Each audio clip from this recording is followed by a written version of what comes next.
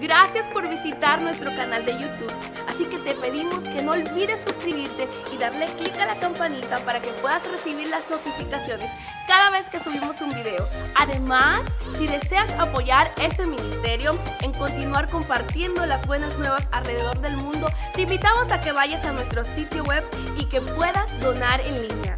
Gracias y esperamos que disfrutes este video. Hola, ¿cómo están? Gracias por acompañarnos. Estamos muy contentos de poder estar aquí con ustedes este domingo. Tenemos un servicio más eh, en español, perdón, en inglés después de este y queremos que tú nos acompañes o que invites a alguien que solo, solo habla inglés. Pero estoy muy contento de poder eh, traer el mensaje hoy a nuestra congregación, tanto en español como en inglés. Quiero mandarles un saludo a todos ustedes. Los extraño, los extrañamos de parte de mi familia. Queremos verles pronto. Y bueno, díganos si ya están listos para regresar o no. Algunos sí, algunos no. Queremos ver a ver que, esto esté un poco más bajo control y, y abrir con cuidado. Este, yo creo que, que, vamos a ver cómo responden ustedes. Queremos este, anunciarles acerca de algunas cosas como el servicio de regresar a la escuela al final. Así es que no te pierdas este mensaje hasta el final. Van a estar los anuncios, ¿ok? Bueno, mira, quiero orar para entrar directamente a la palabra de Dios. Yo creo que hoy Dios va a hablar a nuestros corazones. Mira, a lo mejor tú te has sentido solo.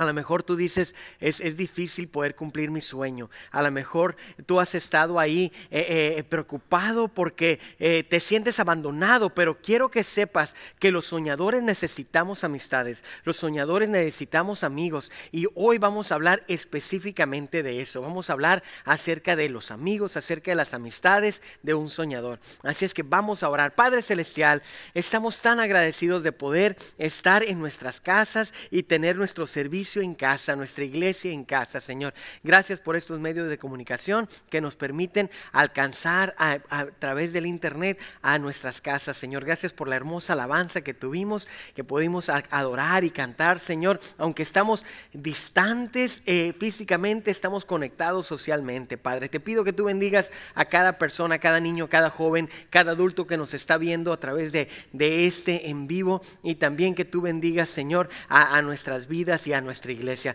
Padre, gracias por tu amor y bondad. Bendice este mensaje, habla nuestros corazones el día de hoy. Amén y amén. Hoy quiero que abra su Biblia conmigo en Primera de Samuel capítulo 18. Vamos a continuar hablando acerca de David porque ahora vamos a hablar acerca de su relación con Jonatán vamos a hablar, a utilizar estos dos personajes para hablar acerca de la amistad. La amistad es muy importante.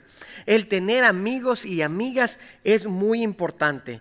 Te invito para que tú hagas tag algún amigo para que tú le, le, pongas el ad y los pongas aquí abajo. Invítalos para que se conectes. Diles, te amo amiga, te amo amigo. Tienes que, tienes que escuchar este mensaje. Este mensaje es para ti. Así es que si puedes, hazle tag, invita a alguien o solamente mándales este, este mensaje después o mándales el de inglés dependiendo de, de cuál sea su lenguaje preferido. Ya saben que somos una sola iglesia con diferentes lenguajes, somos bilingües. Bueno, mira, la amistad es una de las joyas más, brillantes del caminar de un humano. Sin importar distancia, sin importar clase, sin importar raza, sin importar color, sin importar circunstancias. La amistad es muy importante para nuestro caminar. Eh, siempre se ha dicho que el que tiene un amigo tiene un tesoro y espero que tu vida esté llena de tesoros.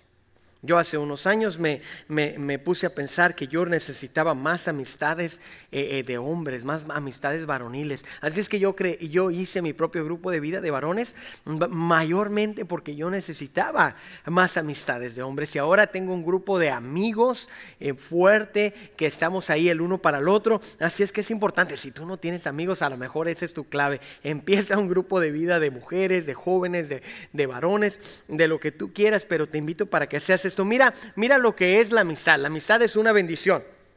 Y los amigos de verdad, los amigos de verdad dan desinteresadamente, eh, eh, dan sin preguntar. Los amigos eh, no están exigiendo, los amigos están ahí siempre que los necesitas. Los amigos ofrecen un abrazo. ¿Cuántos necesitan un abrazo? Aunque sea con máscara, ¿verdad? Un abrazo con mascarilla, a veces necesitamos un abrazo. Los amigos ofrecen un hombro en el cual tú puedes llorar. Muchas veces no tienes que decir nada. Nosotros vemos en la palabra de, Dios, en, en, el libro de Job, cuando estábamos viendo que Job había sido atacado de múltiples diferentes maneras. Fue atacado, eh, este, su esposa se reía de él y, y quería que maldijera a su Dios. Sus hijos habían fallecido, había perdido todo su dinero, todo su ganado. Vinieron sus amigos y nada más estuvieron ahí silenciosamente. Lo estaban viendo sufrir. Él tenía esta plaga en su cuerpo. Y a veces necesitamos un hombro, un amigo que nada más esté ahí, ni que nos aconseje, nada más que nos escuche o nada más que, que esté ahí dándonos un abrazo, dándonos un apoyo en los tiempos difíciles. Alguien que, pueda limpiar tus lágrimas, alguien que pueda compartir tus tristezas, pero también alguien que pueda celebrar tu alegría, alguien que pueda celebrar tus, tus, las bendiciones que Dios da para ti, alguien que pueda celebrar tus logros. Imagínate que, tú tienes un amigo que, que no está ahí cuando estás triste y cuando estás alegre tampoco. Cuando estás triste, no, no, no, está, no da tu, su hombro para que, para que descanses en él para que no te ofrece consuelo y cuando estás teniendo tus logros tampoco te lo celebra. Realmente ese no es un buen amigo y hablaremos un poco más de eso. Pero nosotros vamos a ver aquí la historia de David y Jonatán, que eran unos amigazos. Yo quiero tener un amigo como David, yo quiero tener un amigo como Jonatán en mi vida y creo que todos nosotros los soñadores necesitamos de este tipo de amistades. Eh, eh, la, la amistad siempre te da cariño perpetuamente. Y tú sabes que hay amistades que a lo mejor no te hablas, este, no hablas con ellos todos los días o muy seguido, pero sabes que siempre están ahí, sabes que son unos amigazos del alma. Hoy quiero, quiero que vayas conmigo al capítulo 18, 1 Samuel, versículo, este, versículo del 1 al 4. Mira lo que dice. Aconteció, y este es David, David, David viene llegando al palacio. Ok, David acaba de derrotar al, gigante, David ha estado por ahí, llega al palacio y mira lo que pasa aquí en el versículo 18. Dice, aconteció que cuando él hubo acabado de hablar con Saúl, estamos hablando de David, el alma de Jonatán quedó ligada con la de David. Y lo amó Jonatán como a sí mismo. Versículo 2. Y Samuel le tomó aquel día y no le dejó volver, perdón, y Saúl le tomó aquel día y no lo dejó volver a la casa de su padre Dice aquí, e hicieron pacto Jonatán y David, porque él le amaba como a sí mismo. Y Jonatán se quitó el manto que llevaba y se lo dio a David, y otras ropas suyas, hasta su espada y su arco y su talabarte.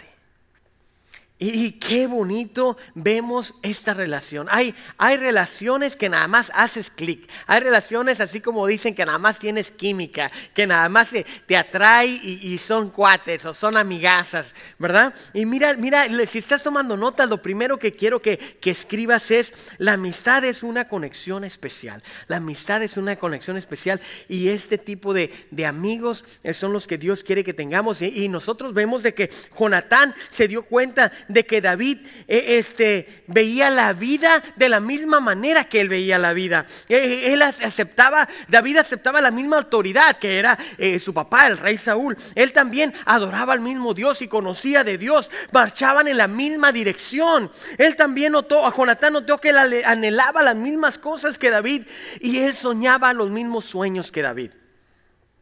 Espero que tú tengas amistades que compartan los sueños que tú compartes, que compartan el mismo Dios, las mismas creencias que tú, que tú tienes, que compartan eh, los, mismos motivos para, para la vida, que, que, tengan los mismos gustos y que vayan hacia la misma dirección. Es importante tener este tipo de amistades. Se lo vemos aquí con, con David y Jonatán. Con el tiempo, eh, tú descubres que la amistad es la familia con, con la que tú eliges compartir tu tiempo. Entonces eh, eh, es bueno tener familia. Yo amo a mi familia, amo a mis hermanos, a mis hermanas, a, sus hijos, sus esposos, sus esposas. Y, es bueno, este, yo no los elegí, eh, así, así los eligió Dios para mi vida. Pero mis amigos, eso sí los elegí yo. Eso sí yo, yo, yo, yo los he escogido. Y ellos me han escogido a mí también. Así es que nuestros amigos son esas personas con las que nosotros elegimos pasar tiempo. Hay gente con la que yo elijo, quiero invitarlos a comer, o quiero invitarlos a cenar, o a un café. Y hay gente que quiere ser mi amiga, que me invita a mí, queremos que vengas, que, que tomes un café, queremos platicar, queremos este, salir, viajar, X, ir a una conferencia, lo que sea. Son, son amistades con las que quieres pasear tiempo. Y mira, eh, con el tiempo también descubres que los amigos valen más que el dinero. Los amigos valen mucho más que el dinero. Y realmente eh, el, dinero no, no, no, importa, pero, pero sí, hay, hay un dicho que dice que, que, si tú te haces amigos de cuatro millonarios, tú vas a ser ese quinto millonario. O sea, tiene mucho que ver quiénes son tus, tus amistades. Ah, hay, hay, hay otra cosa que, que dicen de que si tú quieres volar como águila, tienes que dejar de juntarte con gallinitas, porque las gallinas no vuelan. Así es que si tú quieres aprender a volar, tienes que juntarte con otras águilas, o por lo menos con algún pájaro que esté cerca de alguna águila. Y muchos de nosotros a veces queremos ser un águila, pero nos la pasamos con las gallinas en el piso. Mira, la segunda cosa que quiero que apuntes por ahí mientras estoy viendo el tiempo que, me queda, quiero respetar tu tiempo y esperamos no tardarnos mucho para que tú puedas disfrutar este, este tiempo, esta palabra y puedas también compartirlo y no se te haga pesado, ¿ok? Así es que quédate hasta el final, no te desconectes, y, alguno de estos puntos es para ti, ¿ok?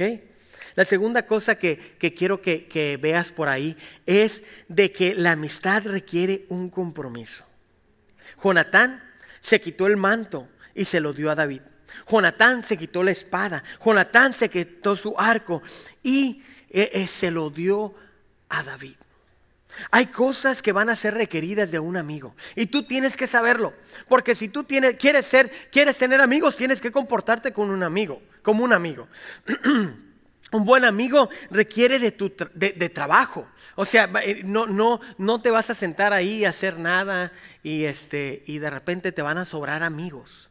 No, no, no, no, no. Y no pienses que tener amigos sociales en, los, en, los, en, los, eh, en las redes sociales eh, equivala a tener amigos de a de veras. No, no, no, no, no, para nada. Mira, eh, requiere trabajo, requiere esfuerzo, requiere intencionalidad y requiere querer. Eso es lo que requiere un buen amigo. Voy a, voy a venirme para acá tantito y tomar uno de estos porque Eh, eh, eh, me estoy tomando un té, de seguro tú estás en tu casa tomando algún café o disfrutando de agua. Mm. Yo ya siento, siento las luces, siento, me, da calor, me emociono, me, paro porque quiero Quiero a veces meterme ahí, quiero estar en tu sala, quiero que, o que tú estés aquí conmigo. Sé, que estamos conectados y esta es una nueva manera de hacerlo, pero no te desconectes y, y pon atención a lo que Dios te quiere decir, ¿ok? Si puedes, Junta a toda tu familia, junta a tus jóvenes, junta a tus niños. Junta a tus papás, compártelos, ponlo en la pantalla si puedes ponerlo. Ah, recuerda, transmitimos a través de YouTube también. En mi casa yo lo, veo a través de YouTube y lo pongo en mi pantalla para tener la pantalla grande ahí con el sonido, con, con, con le hago así como que si tengo, la pongo en la pantalla. Este, pero, pero eh, para, para, estar ahí con mi familia y adorar y escucharlo bien, así es que te invito para que tú hagas lo mismo, ¿ok? Este, ¿En dónde estamos? Ah, lo que requiere. Lo que requiere la amistad. Claro, va, a requerir trabajo, va a requerir esfuerzo, va a requerir que seamos intencionales. No puedo querer un amigo, pero nunca hablarle, nunca mandarle un mensaje. Eh, no, no, no puedo querer un amigo que, nunca de, y, pensar que nunca va a demandar de mi tiempo o eh, que nunca eh, tenga la intencionalidad. Como les mencionaba, alguien me, hay gente que me ha invitado a, mí con intencionalmente a tener una amistad conmigo o con mi familia, con mi esposa. A lo mejor quieren tener amistad con mi esposa y no conmigo, pero me invitan a mí porque soy su esposo. Realmente mi esposa es mejor amiga que yo. Pero este, bueno, es un paquete, ¿eh? ¿eh? Nosotros somos un paquete, somos uno. La palabra de Dios dice que los dos somos uno. Así es que este, eh, nos tienen a los dos como amigos.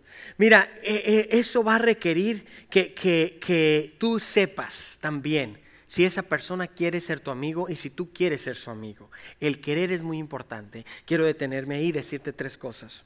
Tú necesitas saber a dónde quieres ir y a dónde quiere ir esa persona. Eso es muy importante, porque tú a lo mejor quieres tener un amigo, pero tú quieres estudiar a la universidad y este otro amigo quiere irse a la perdición e ir a robar un banco. Son dos quereres muy diferentes, tienes que tener cuidado.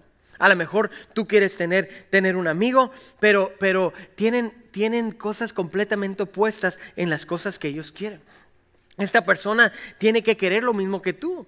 Entonces, si, si, si no necesariamente tiene que querer ir a la universidad, pero tiene que apoyar que tú vas para allá. Y tiene que no quitarte y restarte e impedirte esas cosas. Imagínate tener una, una relación que, que, te, eh, que te involucre en contrabando. Nunca vas a poder eh, ser un, eh, un, un este, profesionista si te van a estar llevando a otro lugar. Así como alguien que quiere ser un águila, pero se la pasa con las gallinas. También tienes que preguntarte, esta persona, esta persona con la que yo quiero ser amigo o esta persona que quiere ser mi amiga, ¿podrá ir en el viaje conmigo? ¿O yo podré ir en el viaje con ella? Cada uno de nosotros tenemos nuestro sueño y tenemos nuestro viaje.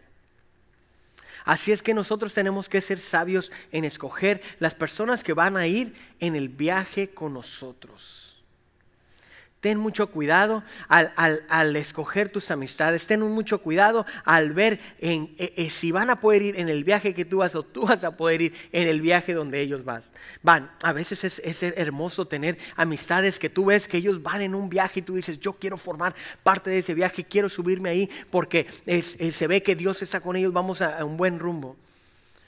Pero, pero a veces tú claramente ves que alguien va en un viaje completamente opuesto. O a lo mejor tú tienes un viaje, tú tienes un propósito, tú tienes un llamado y te das cuenta de que hay amistades que no quieren ir en ese viaje contigo. La tercera cosa que, que quiero que escribas, si estás tomando nota, es la conducta de la amistad. La conducta de la amistad. Y quiero que ahora vayas conmigo a 1 Samuel capítulo 20.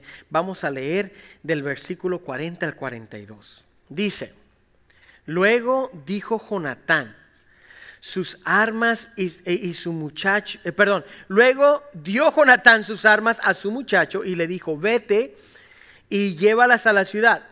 ¿Ok? Ahorita te voy a explicar qué, qué es lo que está pasando en esta historia. Versículo 41 dice, y luego que el muchacho se hubo ido, se levantó David del lado del sur y se inclinó tres veces postrándose hasta la tierra y besándole, eh, besándose el uno al otro, lloraron el uno con el otro y David lloró más. Versículo 42. Y Jonatán dijo a David, vete en paz porque ambos hemos jurado con por el nombre de Jehová diciendo, Jehová esté entre tú y yo, entre tu descendencia y mi descendencia para siempre. Y se levantó y se fue y Jonatán entró en la ciudad.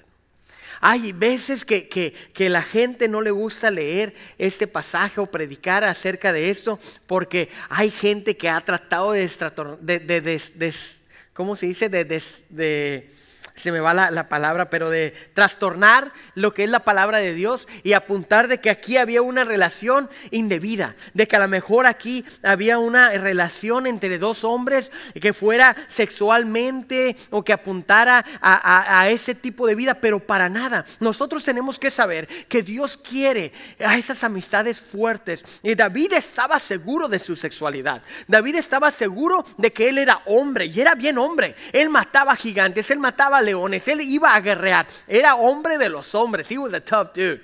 E, él, él, él, se pudiera enfrentar a cualquier ejército porque siempre iba en el nombre de Jehová.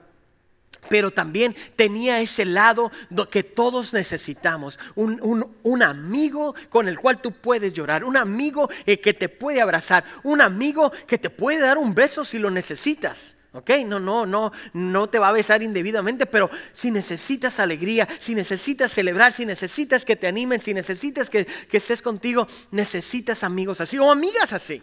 Necesitas amigas así, amigas que, van a estar ahí en, todo tiempo. Y mira, lo que estaba pasando es de que aquí David, David y Jonatán, Dejamos el versículo 18, venimos ya al versículo 20. Ya el papá de Jonatán, el rey Saúl, quería matar a David.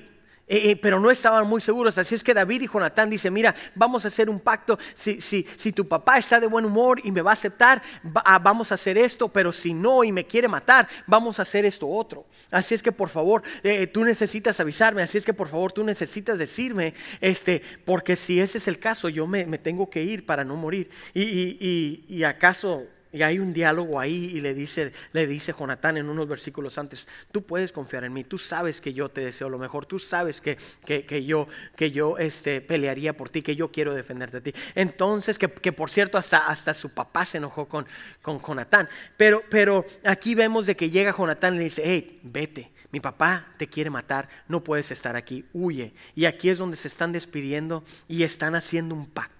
Están haciendo un pacto. E, e, estas relaciones divinas requieren también de, un pacto, requieren de un compromiso, requieren de, una buena conducta. Y nosotros vemos la conducta, mira, la clave de la conducta de un amigo como estos amigos, como esta lealtad que vemos aquí, es la lealtad. Esa es la clave, la lealtad. La conducta de la amistad que llevaba Jonatán y David era la lealtad. Cuando Saúl hablaba mal de David, Jonatán hablaba bien de David. Cuando Saúl le deseaba mal a David, Jonatán le deseaba el bien a David. Cuando, cuando, cuando Saúl quería este, matar a David, él quería salvar a David y que él estuviera bien.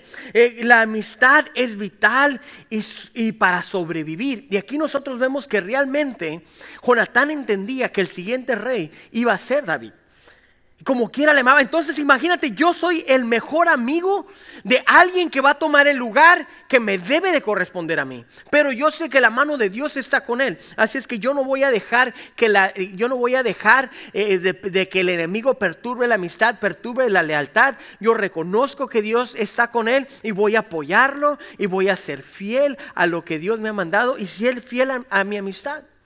Y eso es lo que, ese es el tipo de, lealtad y de amistades que nosotros necesitamos. Igual David hizo el mismo compromiso con, con Jonatán y, juró de, no hacerle daño y de cuidar de la familia de, ellos. Eh, en un futuro nosotros vemos de que David cumple con, esa promesa.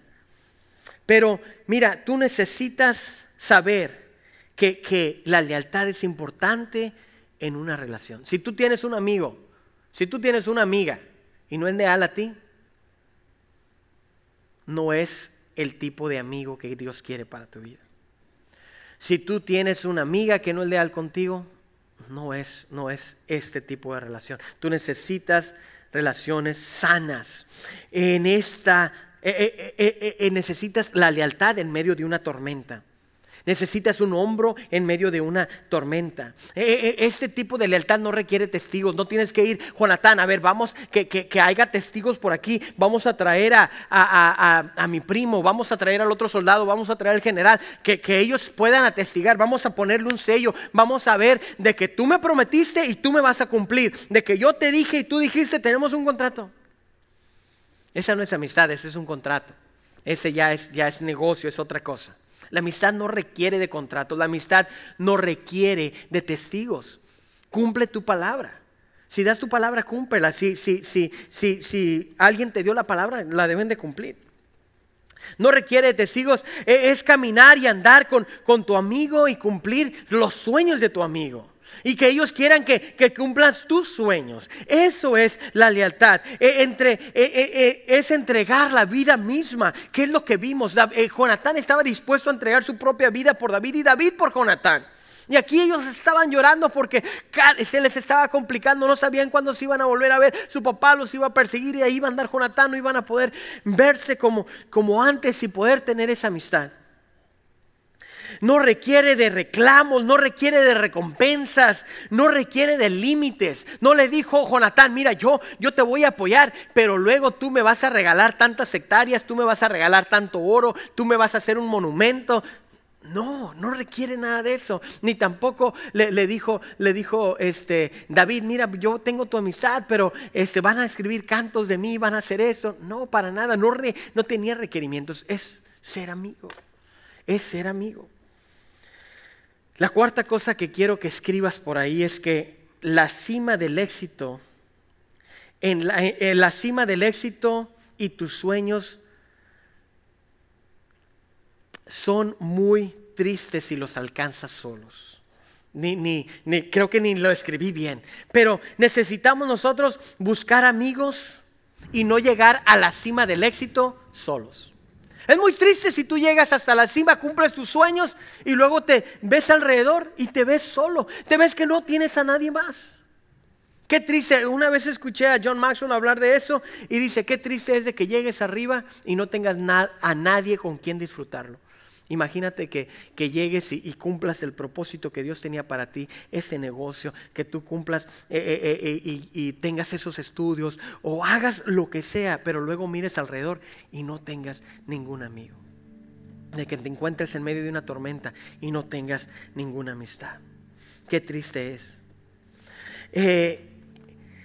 entonces, cuando, cuando estemos en el proceso de alcanzar nuestros sueños, nosotros tenemos que disfrutar la jornada y nosotros tenemos que saber que Dios va a poner gente alrededor de nosotros la cual debe de estar en nuestro viaje o tú debes de estar en su viaje. Nada más ten cuidado al escoger estas personas. Hay una historia de un hombre que, de, unos, de una gente que estaba subiendo a la montaña y iban todos, iban a la montaña y, iban todo un grupo grande, iban subiendo para arriba. Ya ven que es difícil andar subiendo a la montaña y luego de repente se, se empiezan a cansar. ¡Ay! Está bien largo, nos faltan agua, eh, está el sol, está frío, este, ya estoy cansado. Y empezaron a regresarse uno por uno, uno por uno se empezaron a regresar en grupos y, de repente se dieron cuenta que todos habían... Eh, todos se habían regresado menos uno. Y llegó una persona a la cima y ya cuando, cuando bajó, eventualmente bajó y le dicen, hey, este, eh, ¿cómo pudiste llegar o, o, cómo te mantuviste motivado? Se dieron cuenta de que esta persona estaba sorda. Entonces eso es lo que lo, mató, lo, mantuvo motivado, es el no escuchar la negatividad. Así es que nosotros tenemos que tener cuidado y no permitir personas negativas en nuestra vida, personas pesimistas en nuestra vida, personas con malos hábitos, personas que no, no creen en tus sueños o que no creen ni en sus propios sueños, que tengan resentimiento de ti o de la vida. Tienes que tener mucho cuidado con esto. Preocúpate por tú mismo no ser ese tipo de amigo. No ser esa persona que es negativa, no ser esa persona que es rencorosa, no ser esa persona que, tiene malos hábitos, no ser esa persona que digan, vaya, yo no quiero ser amigo de ella, yo no quiero ser amigo de él. Si, si, ¿Ya viste cómo trata a sus amigas? ¿Ya viste cómo trata a sus amigos? ¿Ya viste cómo, cómo, cómo, Y luego la gente no quiere ser tu amiga. No, no, no. Tú necesitas eh, ser positivo porque cuando tú puedas, cuando tú llegues a la cima, quieres tener gente alrededor de ti que te ama, que te quiere, que te apoyó, que estuvo ahí en los momentos difíciles de tu jornada. Mira, eh, primera de Tesalonicenses 5:11 dice, por lo cual animémonos unos a otros y, y edificamos unos a otros así como lo hacéis. Eh, eh, Dios quiere que nosotros nos animemos unos a otros, no que estemos negativos, no que estemos eh, golpeando a la gente abajo. Y mira, a veces nosotros en la iglesia este, nos damos cuenta de que aún dentro de la propia iglesia hay gente que juzga, hay gente que te, te aplasta y no debe ser así. Aquí en nuestra iglesia, en nuestra iglesia y en la iglesia en general a nivel del mundo. Si cae un soldado, tenemos que ayudarle. Si alguien cayó en pecado, tenemos que decirle, hey, tú puedes, vamos, Dios, Dios está contigo, Dios murió por tus pecados, necesitas levantarte, necesitas ir adelante. Mira, mira, yo te voy a apoyar. E, y, ir hacia adelante y no aplastarlos, y no golpearnos, y no reírnos de ellos, sino animarlos y levantarlos y seguir adelante, así como dice la palabra de Dios. E, este también Eclesiastés 4:10 dice, porque si cayera el uno, levantará a su compañero, pero ay del que ande solo, ay del solo, que cuando, que cuando cae, no hay nadie que le levante, ay del solo. Espero que tú no seas esa persona que cae y está solo. Rodéate de buenos amigos, rodéate de buenas amistades. Y mira, quiero, quiero algo que me pareció súper interesante, es el pensar de que David venía del campo. David venía de cuidar las ovejas. David venía de, de, una vida que es lo único que conocía. Pero Jonatán, Jonatán venía de una vida en, en el palacio. Jonatán venía de una vida que, él ya nació en, una familia real, que él ya sabe eh, lo que, la conducta de cómo vestirte, la conducta de cómo actuar. Él sabe cómo usar, fue bien entrenado por los soldados en cómo pelear y usar la, espada y el arco y todo lo demás. David lo aprendió allá en el monte eh, por, por las duras.